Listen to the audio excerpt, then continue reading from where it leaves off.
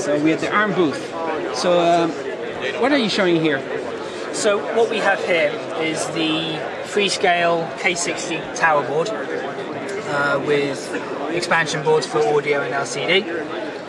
Uh, currently showing off a Cortex M4 and the ability of the DSP libraries built into the new Cortex M4. So what do you do with this? What we have is an MP3 player at the moment, uh, decoding the MP3 and adding post-processing to it.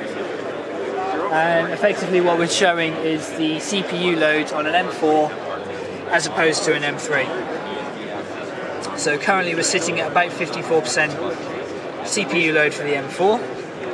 If we max this out,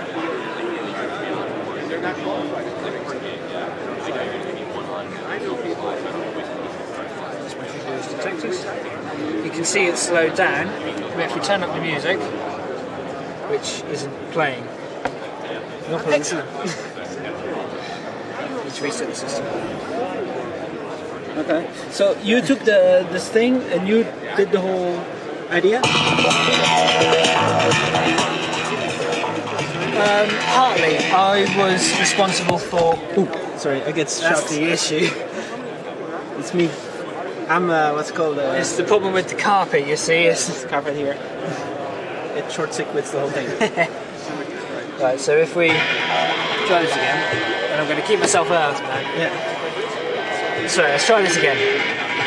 So what we have is a Cortex M4 sitting at about 50% CPU load. It's gone again.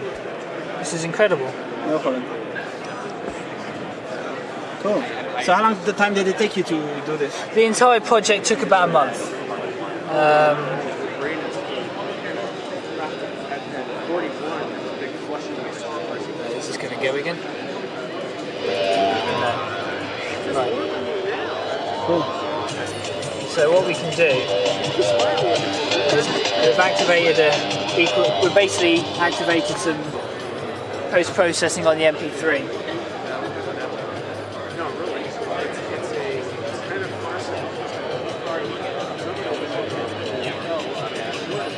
As you can see, even though the CPU is loaded up at about 90%, the audio is still playing absolutely fine. However, if we switch this to the M3 version and do the same thing,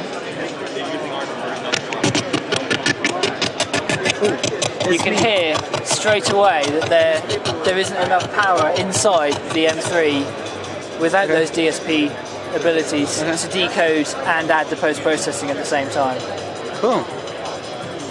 So it's um, hardware acceleration, combina- combining uh, ARM with the DSPs and everything, and make everything. cool. Absolutely, that's Fine. the whole idea of the new Cortex M4.